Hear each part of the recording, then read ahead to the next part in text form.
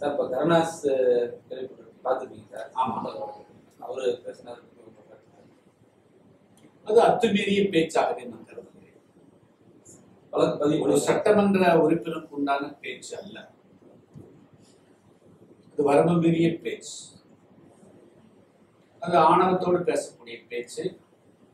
ஏற்கனவே இப்பொழுது வந்து கொஞ்சம் கொஞ்சமாக மெல்ல மெல்ல தமிழர்களிடையே இணக்கங்கள் உருவாகக்கூடியது மீண்டும் பிணக்கும் மோதலுக்கும் வழிவகுக்கக்கூடியது.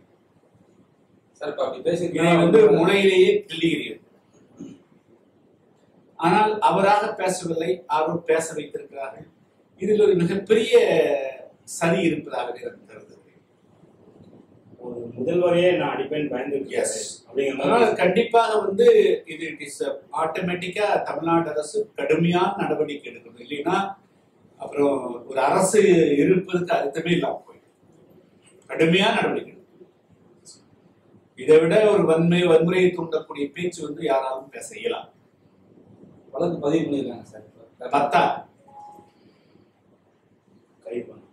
இது பத்தாவது சொல்றேன் சாதாரண வழக்குகள் மட்டுமல்ல இது இதுதான் வந்து அமைதியை சீர்குலைக்கக்கூடியது தேச விரோதமான பேச்சுக்கள்.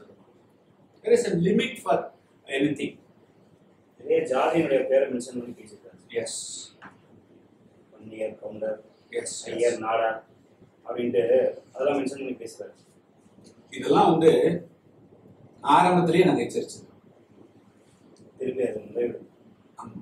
வந்து தமிழ்நாட்டில் யார் வந்து ஜாதி வெறியை தூண்டுகிறார்கள்? அதுக்கு வந்து தூவம் போடக்கூடாதுன்னு சொல்லிட்டு நான் இரண்டு கட்சிகளுமே எச்சரிச்சிருக்கேன். அது இப்பொழுது வெட்ட வெளிச்சத்துக்கு வருது. தமிழருடைய ஒற்றுமையை யார் செய்திருக்கிறார்கள்? தமிழர்களாக வந்து ஒரு சமுதாயம் மலர்வதற்கு யார் குந்தகம் இருக்கிறார்கள் அப்படிங்கிறது இப்பொழுது இதன் மூலமாக வெளிச்சமாகும் இதெல்லாம் வந்து அனைத்து தரப்பினரும் கண்டிக்கும். ரோட்ல வந்து சும்மா ஒரு சத்தம் போடுறது இல்லை. ஆனா முதலமைச்சரவே நான் அடிச்சு போடுன்னு சொல்றது எந்த அளவுக்கு எதை வெளிப்படுத்துது? அடிச்சிருன்னு பயந்துகிட்டு இருக்காரு.